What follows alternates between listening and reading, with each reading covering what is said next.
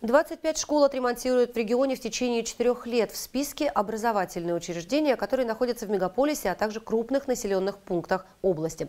Одну из них в поселке Безменово Черепановского района сдали в эксплуатацию накануне.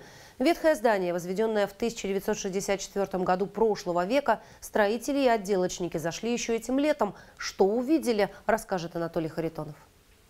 На белые линии наступать нельзя, краска еще не высохла, подрядчики заканчивают работы в спортзале. Теперь здесь безопасно, а раньше учителя за детей боялись. Здание было в аварийном состоянии, по стене сверху вниз шла большая трещина. За пять месяцев сделали из, из старой школы почти новую. То есть все разобрали, все буквально, и крышу даже новую все сделали.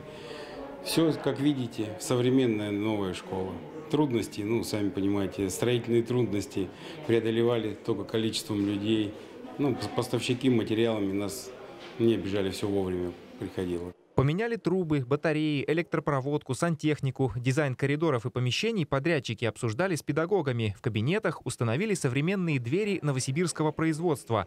О ремонте здесь говорили еще 10 лет назад. Мы за 2012 год составили смету, нашли подрядчиков, нам выделили деньги на смету, прошли экспертизу в 2013 году.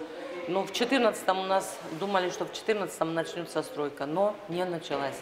Вот 10 лет ждали этого счастливого момента. Во-первых, что необходимо было решать и раньше еще этот вопрос, потому что перспективный поселок, станция, здесь э, динамика рождаемости очень положительно такая.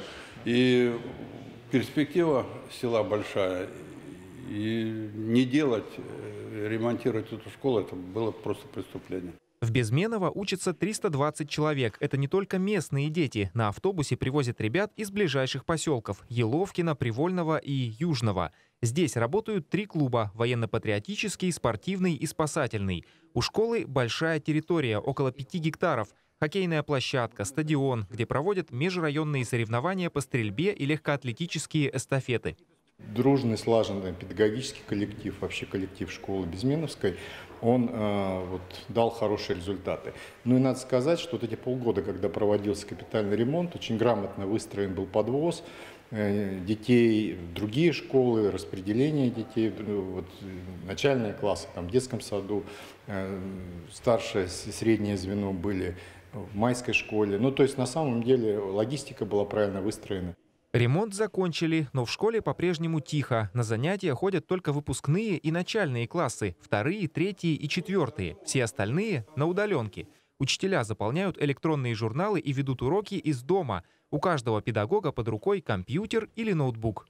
Во время капитального ремонта в Безменовской школе подрядчикам пришлось убирать все провода и кабели, поэтому здесь пока нет интернета. Его должны подключить в течение одной-двух недель. Анатолий Харитонов, Тарас Тарасов, Новости, ОТС.